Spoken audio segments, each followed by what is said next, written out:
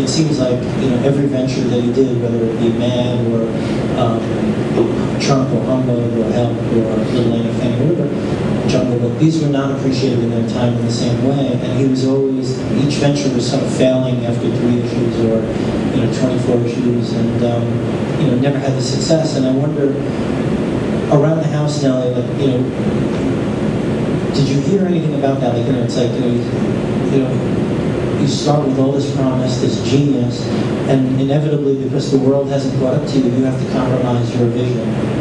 Did he ever, was he, you know, I don't know that he talked to me about compromising his vision, I will say, but what was most notable to me, you know, we didn't talk, those magazines were things I sort of heard of that were like ghosts in the house for me somewhat. But I know that, and I always felt, I realized this in reading the book and, and thinking about it a lot today, that as a kid, I had some delusion that I was kind of his collaborator, and I don't know where I got that from, but I, obviously it's because he was the kind of parent who made me feel that way, which speaks very well to him, I think. But I was always kind of like, when are we getting this film project off the ground? And I think that, you know, and I've talked about this before, I I think, at least from what I got from osmosis and talking to him, he wanted to be a filmmaker, and at some point. Like, he loved what he was doing, but I think that was always like right there, and he wasn't making it to that somehow.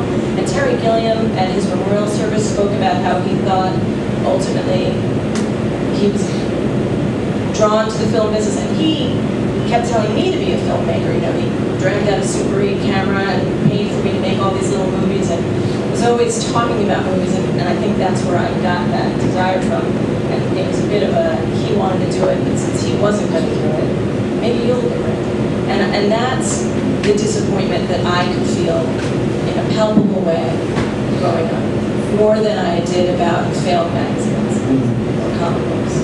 And you see the film quality in his work too, because he did his art was almost storyboarded as if he were the film. And, you know, very subtle differences from panel to see it work like Jules Feiffer would do in The Village Voice, where there was little subtle gestures would change, but Harvey did it first, and Harvey did it, I think, really expertly. But you also see it when he was doing Help magazine with the Fumettis, where he would take photos and put funny captions on it, which you'd see with, you know, Forry Ackerman did Famous Monsters of Filmland. So I found that interesting. In San Diego, we talked about the film, filmmaker problem. I hadn't really thought about in his work, but you actually do see Yeah, and you know what's interesting, you know, when you talk about the Fumetti stuff and a lot of the humor in Mad, you know, when I looked at it, the, when, as I started to become an adult, I was like, I've seen a lot of this. And it's hard to wrap my head around the fact that, yeah, but he did it first. Like, you know, especially being related to him. It's like, oh, this is stuff everyone does, but I guess it's kind of nice that he did it first. But it's hard to believe. And did he have stuff around the house? Did he have things hanging up? Was he proud of his art? Yeah, I'd say he was def, I mean, his stuff was and is all around the house I was born in and my apartment. I mean, the stuff was around, but not in a bragging way, because we also had works from all his cartoonist friends up as well, so it was a big mix. And sort of as you're as you're growing up, you're having it's it's an unfair question, but you kind of live with this shadow, which is you know something that most of us don't have, having a famous father. You know, what is that? You know, as you go through your career, making your films, editing things, you hear his voice, you hear uh, an influence.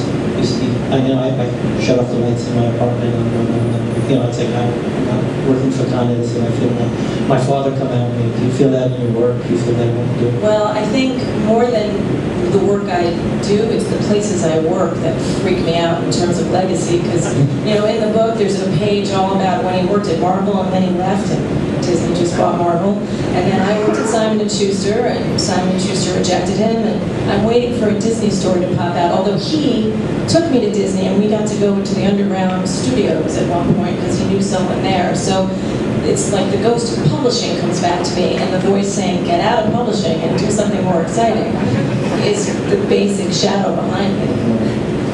Might be little late.